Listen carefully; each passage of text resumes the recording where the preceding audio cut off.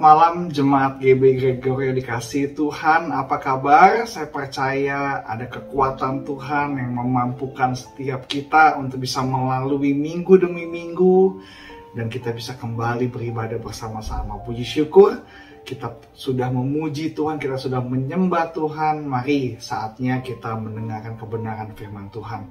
Saya mau undang setiap kita satukan hati, satukan pikiran, kita mau satu dalam doa. Bapak dalam surga terima kasih untuk malam hari ini Tuhan. Kami percaya anugerahmu lah yang membawa kami bisa melewati minggu demi minggu Tuhan. Rahmatmu Tuhan, kesetiaanmu Tuhan yang selalu ada dalam kehidupan setiap kami, memelihara kami Tuhan, sehingga kami bisa kembali beribadah, berbakti kepada Engkau Tuhan. Kami sudah memuji, menyembah namamu Tuhan. Kini saatnya kami mau duduk diam untuk mendengarkan kebenaran firman Tuhan. Kami berkati Tuhan, apa yang kami dengar tidak hanya kami dengar, tapi kami mau mengerti. Kami mau simpan dalam hati kami dan menjadi perbuatan kami Tuhan sesuai dengan kehendakmu, sesuai dengan apa yang kau rindukan Tuhan. Terima kasih Bapak, terima kasih. Kau yang pimpin dari awal hingga akhirnya Bapak hanya di dalam nama Yesus. Haleluya. Amin. Judul khotbah saya pada malam hari ini adalah hidup bergaul dengan Allah. Hidup bergaul dengan Allah. Ada sebuah ungkapan show me your friend and I will show you your future. Dalam bahasa Indonesia-nya Tunjukkan aku temanmu, maka aku akan menunjukkan kepadamu masa depanmu. Sebelum saya lebih jauh lagi, saya akan bahas ungkapan ini. Bahwa ungkapan ini menyatakan siapa temanmu akan menunjukkan apa masa depanmu. Ungkapan ini sangat terkenal mengartikan bahwa pergaulan atau pertemanan kita menentukan masa depan kita. Teman yang baik akan membawa masa depan yang baik buat kita. Sebaliknya, teman yang tidak baik akan membuat masa depan kita hancur, akan membuat masa depan kita tidak karuan. Misalnya, kalau kita berteman dengan penjudi, pastilah kita menjadi seorang penjudi. Kalau kita berteman dengan seorang perokok, bisa jadi kita menjadi perokok. Kalau kita punya teman yang hobinya tawuran, yang hobinya berantem, kita pasti jadi orang yang keras, hobi tawuran, hobi berantem. Tapi kalau kita berteman di tempat yang suka main game online, pasti kita juga akan kena game online. Kalau kita ketemu teman-teman yang hobinya fitness, kita pasti berakhir di tempat gym. Kalau hari ini kita senang ikan, kita berkumpul di teman-teman yang hobinya main ikan, kita akan senang juga main ikan. Hobi itu akan berkembang terus, akan berkembang terus dari main ikan, akan hobinya biasanya jual beli ikan. Udah jual beli ikan, dia biasanya suka mancing ikan. Akan terus berkembang. Awalnya berteman dengan orang yang suka rokok lama-lama jadi minuman keras. Rokok minuman keras bisa jadi narkoba. Udah jadi narkoba, duit enggak ada, bisa jadi kriminal. Ujung-ujungnya dua, masuk penjara atau berakhir binasa. Masa depan kita ditentukan dengan siapa kita bergaul. Kalau kita pandai-pandai pilih teman, kalau kita pandai-pandai pilih teman, kita akan, akan berakhir dengan sangat baik. Kalau kita pilih teman-teman yang baik, yang semangat kerja, teman-teman yang semangat belajar di kampus cari teman yang memang peduli dengan masa depan pastilah kita menjadi pribadi yang akan peduli dengan masa depan yang peduli dengan prestasi kita. Kalau kita di kantor berteman dengan dengan pemimpin dengan manajer yang baik yang punya yang punya masa depan cerah pastilah kita akan mendapatkan pelajaran dari pertemanan itu. Kita jadi lebih semangat mencari nafkah, kita lebih semangat cari uang, kita akan lebih semangat menentukan masa depan saya. Saya mau menjadi orang yang baik. Kalau engkau seorang dokter berteman dengan dokter-dokter yang luar biasa, yang hebat, maka engkau akan menjadi dokter yang hebat. Kalau engkau seorang guru, berteman dengan guru-guru yang berprestasi sehingga engkau menjadi guru yang luar biasa. Pertemanan kita menentukan masa depan kita. Kalau kita bergaul dengan yang tidak baik, pastilah masa depan kita tidak baik. Tapi sebaliknya, kalau kita bergaul dengan yang baik, kita pasti memiliki masa depan yang baik. Pergaulan kita menentukan masa depan kita. Nah, pada malam hari ini ada berita baik saya mau beritahu bahwa ada teman yang luar biasa.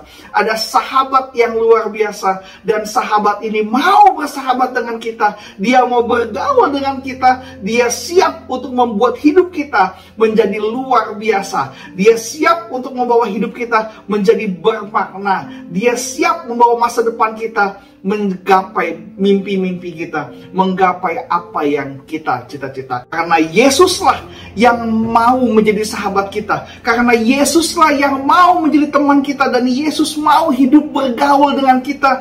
Kalau kitanya juga mau hidup bergaul dengan Tuhan, kita mau hidup bergaul dengan Allah, kita mau hidup bergaul dengan Yesus. Di Alkitab ada tiga tokoh Alkitab yang ditulis Alkitab. Mereka hidup bergaul dengan Allah. Kita mau belajar dari tiga tokoh ini supaya kita pun bisa hidup bergaul dengan Allah. Kenapa? Karena kalau kita bergaul dengan Allah, masa depan kita pasti cerah, masa depan kita pasti gemilang. Anak-anak muda yang mau hidup bergaul dengan Allah, hidupnya diberkati Tuhan Orang-orang tua yang hidupnya bergaul dengan Allah akan digendong sama Tuhan hampir memutih rambut kita. Tuhan akan menggendong setiap kita, akan memelihara setiap kita. Ada tiga tokoh yang kita mau belajar. Yang pertama adalah Henok. Henok hidup bergaul dengan Allah. Kejadian 5 ayat 22 sampai 24 dan Henok hidup bergaul dengan Allah selama berapa? 300 tahun lagi setelah ia memperanakan Metusalah dan ia memperanakan anak-anak laki-laki dan perempuan. Jadi Henok mencapai umur 365 tahun dan Henok hidup bergaul dengan Allah. Lalu ia tidak ada lagi sebab ia telah diangkat oleh Allah. Henok hidup di antara bangsa yang Tuhan lihat keji yang Tuhan sendiri melihat bahwa bangsa itu jauh daripada Tuhan, tapi Henok tetap dalam pendiriannya. Henok tetap hidup bergaul dengan Allah. Henok hidup bergaul dengan Allah. Henok hidup berteman dengan Allah. Sehingga apa yang terjadi, Henok terangkat ke sorga. Dia tidak mengalami apa yang namanya kematian. Dia tidak mengalami apa yang namanya kesakitan. Dan Henok berumur panjang 300 tahun 300 tahun Henok hidup bergaul dengan Allah. 300 tahun dia hidup bergaul dengan Allah, hidupnya dipelihara sama Tuhan dan matinya Tuhan tidak izinkan dia mengalami kesakitan, Tuhan tidak izinkan dia mengalami penderitaan. Henok mendapatkan kasih karunia Tuhan. Yang kedua adalah Nuh. Nuh juga mendapat kasih karunia Tuhan. Firman Tuhan dalam kejadian 6 ayat 8 sampai 9. Tetapi Nuh mendapat kasih karunia di mata Tuhan. Inilah riwayat Nuh. Nuh adalah seorang yang benar dan tidak bercela di antara orang-orang sejamannya. Dan Nuh itu hidup bergaul dengan Allah. Nuh hidup bergaul dengan Allah. Dia tidak tercela di antara orang-orang sejamannya yang Tuhan mau binasakan karena dosa dan pelanggaran mereka. Zamannya Henok, zamannya Nuh, orang-orang di luar Tuhan, di luar jangkauan Tuhan, mereka hidupnya jahat di mata Tuhan. Tuhan mau binasakan mereka, tapi orang yang bergaul dengan Allah yang namanya Nuh, hidup yang Nuh itu hidup dekat dengan Allah, tidak bercela di antara orang-orang sejamannya dan Nuh itu mendapat kasih karunia di mata Tuhan. Dia hidup bergaul dengan Allah sehingga sehingga Tuhan berikan rahasia kepada Nuh. Dia Tuhan menyelamatkan hidup Nuh. Tuhan menyelamatkan hidup keluarganya Nuh. Nuh dan istrinya tiga orang anak, tiga orang mantu, semua binatang berpasang-pasang selamat dari musibah air bah. Itu karena hidup bergaul dengan Allah. Rahasia-rahasia diberitahukan kepada sahabatnya Tuhan. Kalau kita hidup dekat dengan Tuhan, kita hidup bergaul dengan Tuhan, maka rahasia itu akan menjadi bagian dalam kehidupan setiap kita. Bayangin betapa spesialnya Nuh, seluruh dunia dibinasakan keluarga dia saja. Keluarga dia saja yang mendapat kasih karunia di hadapan Tuhan karena keluarga dia tidak bercelah, tidak membuat Tuhan tidak membuat Tuhan marah, tidak membuat Tuhan benci keluarga ini, tapi Tuhan sayang dengan keluarga ini karena Nuh hidup benar dan tidak bercelah di antara orang-orang sejamannya. Dikatakan Nuh itu hidup bergaul dengan Allah. Yang ketiga Ayub. Jadi tulis Alkitab ada tiga orang Henok, Nuh, dan Ayub. Ayub dalam Ayub 29 ayat yang keempat dikatakan seperti ketika aku mengalami masa remajaku ketika Allah bergaul karib dengan aku di dalam kemahku. Jangan main-main Ayub ini bukan orang biasa. Dari muda dia hidup bergaul dengan Allah sehingga Ayub menjadi orang yang paling kaya di wilayah timur. Orang paling banyak duit di wilayah timur kalau boleh saya beritahu wilayah timur tanah Us itu kerajaan Aram, ada kerajaan Edom di sana. Raja-raja yang punya banyak uang tapi Ayub tetap menjadi orang yang paling kaya di wilayah timur. Unta-untanya banyak, domba-dombanya banyak, kambing dombanya banyak. Bisnisnya luar biasa, anaknya paling ganteng, anaknya paling cantik karena Ayub hidup bergaul karib dengan Tuhan. Maka Tuhan memelihara hidupnya. Anak-anak muda saya memberitahu hari ini kalau engkau di masa muda engkau hidup bergaul karib dengan Tuhan saya mau kasih tahu pada malam hari ini jangan takut miskin Tuhan akan berkati engkau, Tuhan akan pulihkan keadaanmu kalau hari ini engkau sendiri yang mas yang udah percaya sama Kristus, keluargamu orang tua belum percaya sama Tuhan, hei hidup bergaul dengan Allah maka keluargamu diselamatkan. Satu orang selamat seisi keluarga akan selamat, akan Tuhan berikan kasih karunia. Kayak Nuh, Nuh dia dekat dengan Allah, maka keluarganya dipelihara sama Tuhan. Karena satu orang Nuh keluarga itu, istri, anak, mantu dipelihara sama Tuhan. Oleh sebab itu pada malam hari ini jangan takut. Kita harus bergaul karib dengan Tuhan. Jangan pikirkan masalah yang ada. Tetap fokus pada Tuhan, bergaul karib kepada Tuhan. Henok berumur panjang. Henok tidak mengalami ketakutan, penyiksaan, kematian. Dia tidak mengalami penderitaan, sakit, penyakit. Dia langsung diangkat. Nuh mendapat kasih karunia Allah. Allah beritahukan rencana besar, rahasia besar, ada bencana besar akan terjadi. Nuh diberitahu dan Allah mempersiapkan jalan keselamatan untuk Nuh dan keluarganya. Sedangkan Ayub, Ayub adalah orang yang paling kaya, yang paling diberkati di sebelah timur. Saya memberitahu kenapa mereka begitu disayang Tuhan. Kenapa mereka begitu dikasihi Tuhan? Kenapa mereka mendapatkan kasih karunia Tuhan? Karena mereka hidup bergaul dengan Allah. Bergaul dengan pribadi yang benar. Mereka mengambil keputusan dia mau bergaul dengan Allah. Dia nggak mau bergaul dengan orang sejamannya. Dia mau hidup bergaul dengan Allah. Henok mengambil keputusan bergaul dengan Allah. Nuh mengambil keputusan bergaul dengan Allah.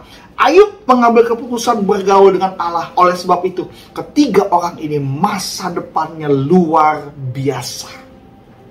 Saya memberitahu, Nuh itu adalah nenek moyang dari setiap manusia yang ada di muka bumi ini.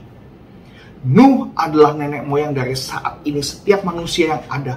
Nenek moyangnya satu, Nuh. Karena Nuh selamat. Karena Nuh diselamatkan Tuhan mendapat kasih karunia Tuhan. Nuh mendapat kasih karunia Tuhan dan Nuh hidup bergaul dengan Allah. Dia tidak mau terhanyut dengan hidup sejamannya orang-orang sejamannya yang mendukakan hati Tuhan. Nuh mengambil keputusan hebat. Henok mengambil keputusan hebat. Ayub mengambil keputusan hebat dan malam hari ini jemaat GB Gregorio juga mengambil keputusan yang hebat. Malam hari ini kita sepakat hidup bergaul dengan Allah. Haleluya. Amin. Puji Tuhan, kenapa mereka diberkati Tuhan? Ya karena mereka hidup bergaul dengan Allah. Hidup bergaul dengan Allah dengan pribadi yang benar akan membuat masa depan mereka benar. Karena begini, ada tiga hal yang biasa dilakukan dalam bergaul atau berteman. Contohnya kalau kita punya teman, ada tiga hal saya mau beritahu yang biasa dilakukan dalam bergaul dan berteman dan ini kita bisa ambil untuk supaya kita bisa bergaul dan berteman dengan Tuhan. Kalau kita mau diberkati Tuhan malam hari ini kita ambil keputusan saya mau bergaul dengan Tuhan.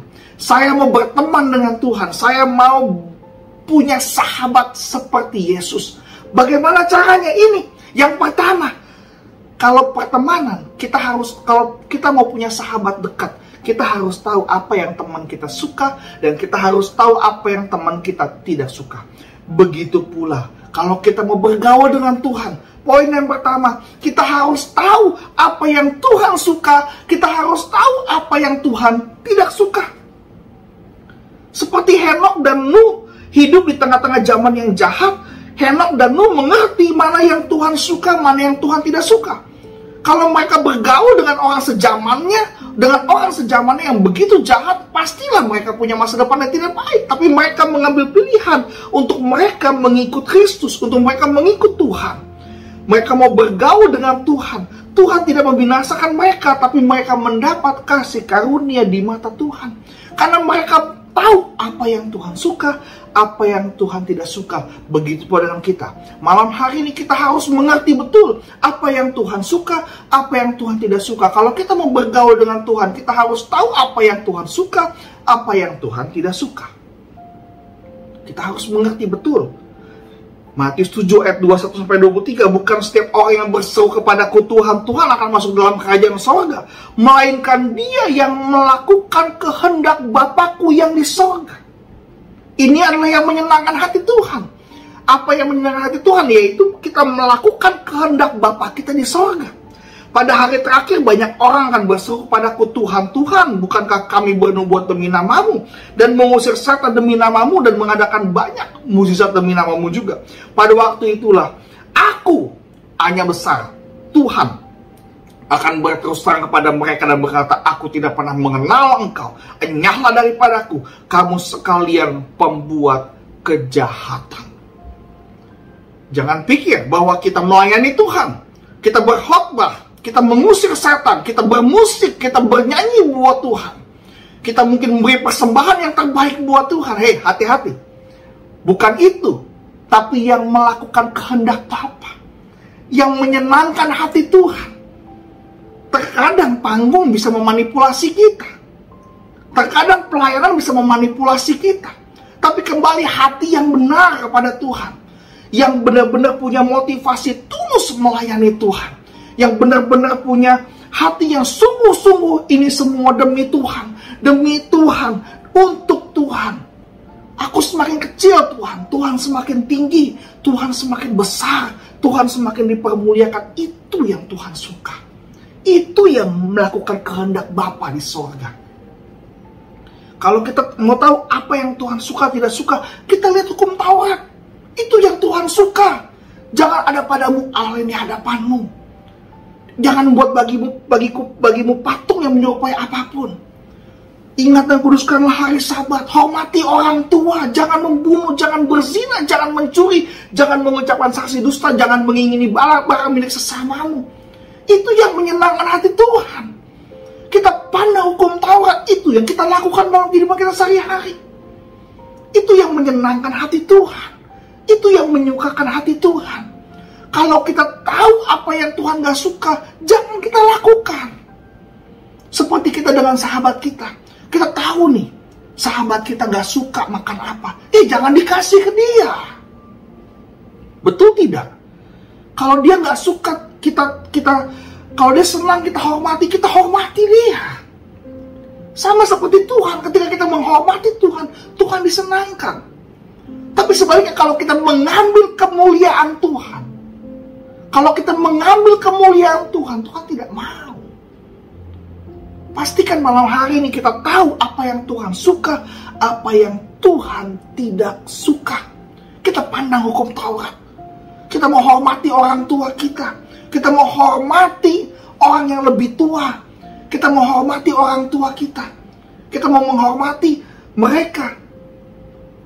Itu yang Tuhan suka. Saya mau beritahu kalau kita hormat sama orang tua kita. Saya mau beritahu panjang umur kita. Dari 10 hukum Taurat hanya ada satu hukum Taurat yang mengandung janji yaitu hormatilah orang tuamu sehingga panjang lanjut umurmu di tanah yang Tuhan Allah berikan kepadamu. Oleh sebab itu perhatikan baik-baik. Kalau kita mau bersahabat dengan Tuhan, lakukan. Tahu apa yang Tuhan suka dan apa yang Tuhan tidak suka. Kita mau pandang hukum Taurat. Kita mau pandang hukum Taurat. Itulah yang mau kita lakukan. Itulah yang mau kita kerjakan. Susah, ya susah. Tapi bukannya tidak mungkin. Kita mau belajar untuk supaya kita bisa melakukan kebenaran firman Tuhan. Yang kedua, apa yang biasa dilakukan dalam berteman, dalam bergaul. Biasanya kalau orang yang suka bergaul, suka meniru apa yang sahabatnya lakukan. Contohnya kalau kita sering ke mall, ada sahabatan empat orang pakai baju warna yang sama, pink, celananya biru muda, bajunya sama semua, kompak, bajunya sama, semua satu pakai handphone Samsung, semua pakai handphone Samsung, satu pakai HP iPhone, semua pakai HP iPhone, semua nonton satu nonton drama Korea, semua nonton drama Korea. Nah kalau bersahabat biasanya meniru apa yang sahabatnya kerjakan. Nah kalau sahabatnya suka ngerokok, nah kita yang ngerokok, nah bahaya. Kita juga bisa ikut-ikutan ngerokok. Hati-hati dalam memilih teman. Saya mau beritahu, hati-hati memilih teman.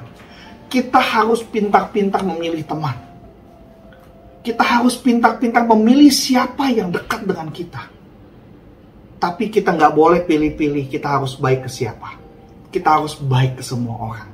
Tapi kalau teman yang dekat sama kita, kita boleh pilih. Tapi kalau urusan baik, kalau urusan mengasihi, kita harus mengasihi semua orang. Betul ya? Nah yang kedua tadi kita biasanya kalau sahabat meniru apa yang sahabatnya lakukan. Oleh sebab itu, kalau kita mau punya sahabat seperti Kristus, kalau kita mau menjadikan Yesus sahabat kita, kita mau tiru, kita mau melakukan apa yang Tuhan lakukan. Betul tidak? Ya. Firman Tuhan dalam Yohanes 14 ayat 12. Aku berkata kepadamu sesungguhnya barang siapa percaya kepadaku, ia juga akan melakukan juga pekerjaan-pekerjaan yang aku lakukan, bahkan pekerjaan-pekerjaan yang lebih besar daripada itu, sebab aku pergi kepada Bapa. Sesungguhnya siapa yang barang yang percaya kepada Tuhan, dia kita nih akan melakukan juga pekerjaan-pekerjaan yang Yesus lakukan, bahkan pekerjaan-pekerjaan yang lebih besar daripada itu, sebab aku pergi kepada Bapa, sebab Yesus pergi kepada Bapa. Dia mengaruniakan Roh Kudus kepada kita untuk supaya kita bisa melakukan pekerjaan-pekerjaan yang lebih besar daripada yang Yesus kerjakan di muka bumi ini. Ada dua hal yang jelas menjadi ciri khas Yesus ketika Yesus berada di dunia ini. Di dunia ini Yesus datang untuk mengasihi dan melayani. Dua hal yang luar biasa ini yang kita juga harus lakukan, kita harus tiru. Bagaimana kita mengasihi dan bagaimana kita melayani. Kalau bicara kalimat mengasihi dan melayani ada di ayat ini. Di Yohanes 13 ayat 3 sampai 5. Yesus tahu bahwa Bapaknya telah menyerahkan segala sesuatu kepadanya telah menyerahkan segala sesuatu kuasa juga ada di tangan dia dan bahwa ia datang dari Allah dan kembali kepada Allah. Perhatikan baik-baik ayat ini Yesus tahu bahwa Bapaknya telah menyerahkan segala sesuatu termasuk kuasa. Apa yang dia lakukan? Apa yang Yesus lakukan setelah dia tahu bahwa dia punya kekuasaan, dia datang dari Allah, dia kembali dari Allah. Apa yang Yesus lakukan? Apakah dia meng meng mengirim hujan petir kepada setiap orang yang bersalah atau setiap orang yang berdosa? Apakah Yesus memberikan pelajaran, memberikan hukuman kepada setiap orang yang, mem yang menyalibkan dia? Enggak. Apa yang Yesus lakukan? Dia begitu mengasihi setiap kita ketika Yesus tahu Bapaknya menyerahkan segala sesuatu kepadanya, Yesus bangun dan menanggalkan jubahnya, ia mengambil sehelai kain lenan dan mengaitkannya pada pinggangnya, kemudian ia menuangkan air ke dalam sebuah basi dan mulai membasuh kaki murid-muridnya, lalu menyekanya dengan kain yang terikat pada pinggangnya itu. Haleluya. Yesus yang kita sembah.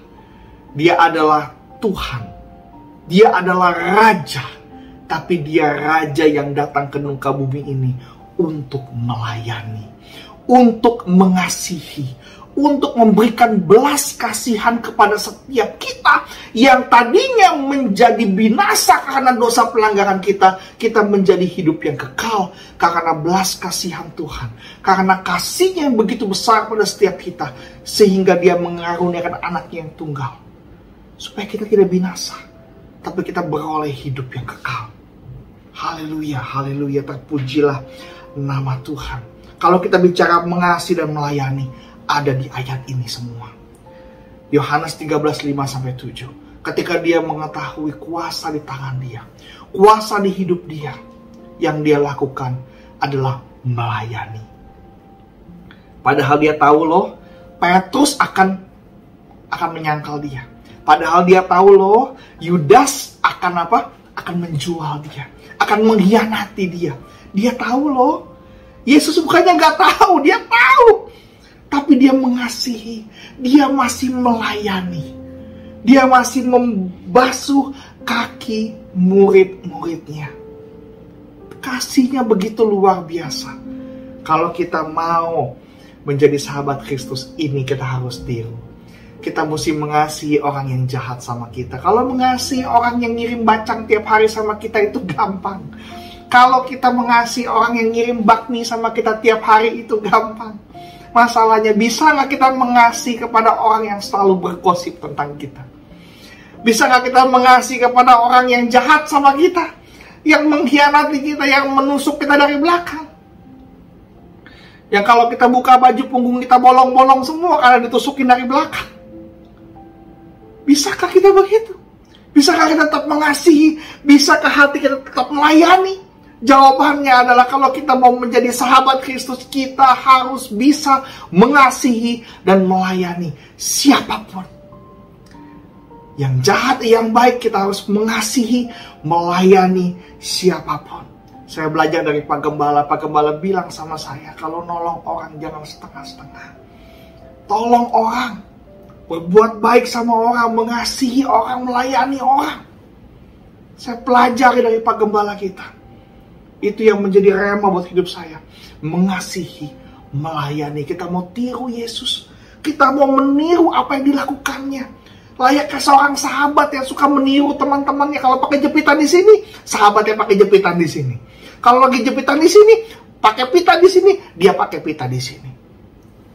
Ada lipstick baru warna pink, dia beli lipstick baru warna pink, pakai sama-sama lipstick yang warna pink. Sahabat meniru, kita pun harus meniru sahabat kita Yesus. Apa yang kita tiru? Mengasihi, melayani. Yang ketiga, yang terakhir, yang biasa dilakukan dalam hubungan pertemanan adalah biasanya kalau teman yang baik mau ditegur, mau dinasehati supaya menjadi lebih baik. Begitu pun dengan Kristus. Kalau kita mau menjadi sahabat Kristus, mau ditegur, mau dinasehati sama Tuhan supaya hidup sesuai dengan kebenaran firman Tuhan. Kalau hari ini mungkin ada yang ngerasa, aduh kok pendetanya khotbahnya rokok lagi, rokok lagi, judi lagi, judi lagi, obat lagi, obat lagi. Kalau hari ini engkau terusik, kalau hari ini hatimu terusik, saya mau beritahu, itu roh kudus. Yang ingin mengusik hati kita. Hei, stop merokok. Stop. Itu adalah nasihat. Itu adalah teguran daripada Tuhan. Untung Tuhan masih tegur pakai pendeta kalau udah sakit, repot. Kalau udah celaka, repot. Kalau kita pakai obat dengan sengaja, ada polisi datang, udah sampai penjara, repot. Ngerepotin orang, ngerepotin diri sendiri. Kalau masih ditegur baik-baik, kalau masih bisa Tuhan bicara lewat kebenaran firman Tuhan, ya Tuhan begitu sayang sama kita, begitu mengasihi kita, supaya kita berubah supaya kita menjadi lebih baik. Karena sahabat itu saling mem, saling menasihati, saling menegur supaya lebih baik. Ketika saya ber, ber, berkeluarga, istri itu seperti sahabat kita. Istri itu sebagai teman baik kita. Suami kita, suami kita teman baik kita, suami kita sahabat kita. Sesama, sesama suami istri kadang-kadang saling memberi masukan, saling memberi teguran. Kadang nggak enak, kadang ngerasa sakit, ngerasa nggak enak. Tapi untung masih ada yang mau tegur kita. Untung masih ada yang mau nasihati kita. Kenapa? Karena mereka sayang sama kita. Kalau hari ini Tuhan masih tegur kita, Tuhan masih nasihati kita karena Tuhan sayang sama kita. Kita bukan dianggap teman lagi sama Tuhan, dianggap apa? Anak. Mana ada orang tua yang cuek sama anaknya, anaknya salah, anaknya disentil. Anaknya melakukan pelanggaran, anaknya disentil. Kenapa disentil? Karena bapaknya sayang sama anaknya. Kalau hari ini kita masih ditegur sama Tuhan, artinya Tuhan sayang sama kita semua. Ada ayatnya. Ibrani 12 ayat 5 sampai 6. Dan sudah lupakah kamu akan nasihat yang berbicara kepada kamu seperti kepada anak-anak? Hai anakku, janganlah anggap enteng didikan Tuhan dan janganlah putus asa apabila engkau diperingatkannya. Karena Tuhan menghajar orang yang dikasihnya dan ia menyesah orang yang diakuinya sebagai apa? Sebagai anak. Jangan marah sama Tuhan ketika dia sedang menegur kita, sedang menasehati kita, sedang menghajar kita karena dia mengasihi kita. Dia sayang sama kita supaya kita menjadi lebih baik, supaya kita berubah sesuai dengan kehendak Tuhan. Oleh sebab itu, Tuhan Yesus tidak hanya menganggap kita sebagai sahabatnya, tapi menganggap kita sebagai apa? Anak yang dikasihinya. Kalau kita punya Bapa seperti Kristus, kita anak kurang untung apa? Masa depan kita ditanggung, masa lalu kita ditebus sama Dia, dan masa hari ini Tuhan pelihara setiap kita. Haleluya, haleluya, terpujilah nama Tuhan. Tiga hal dalam pertemanan. Saya mau beritahu hidup bergaul dengan Allah pergaulan yang baik menentukan masa depan kita. Kalau kita bergaul sama Tuhan, udah nggak perlu ditanya. Masa depan yang gemilang, masa depan yang luar biasa ada di tangan kita. Seperti Henok, Nuh, dan Ayub memilih mengambil keputusan mereka mau hidup bergaul dengan Allah. Sehingga hidup mereka diberkati Tuhan luar biasa. Mereka mendapat rahasia Tuhan, hidup mereka diberkati Tuhan, mereka kaya raya. Mereka tidak mengalami penderitaan kematian, tapi mereka mendapat kasih karunia di hadapan Tuhan. Lalu bagaimana caranya? Kenapa mereka diberkati Tuhan? Mereka mau bergaul dengan Allah. Bagaimana cara bergaul dengan Allah? Kita harus tahu. Yang pertama, apa yang Tuhan suka, apa yang Tuhan tidak suka. Yang ketiga, yang kedua, kita harus melakukan apa yang Tuhan lakukan. Dan yang ketiga, kita mau dinasehati, ditegur Tuhan supaya kita hidup kita sesuai dengan kebenaran firman Tuhan. Sahabat yang baik, dia akan menegur dan orang tua yang baik akan menegur anak-anaknya supaya anak-anaknya hidup benar seperti Tuhan mau kita berkenan kepada Tuhan dan hidup kita sesuai dengan kebenaran firman Tuhan. Ayat terakhir kita, Amsal 17 ayat 17. Seorang sahabat menaruh kasih setiap waktu, apa pun waktu kita. Waktu susah dia menaruh kasih, waktu senang menaruh kasih, waktu sehat menaruh kasih, waktu sakit menaruh kasih, waktu berjaya menaruh kasih, waktu kita bangkrut sekalipun. Seorang sahabat menaruh kasih Tuhan Yesus menaruh kasih kepada kita setiap waktu dan menjadi saudara dalam kesukaran. Kalau modelnya Yesus bersama dengan kita dalam kesukaran, kita pasti bisa melewati badai.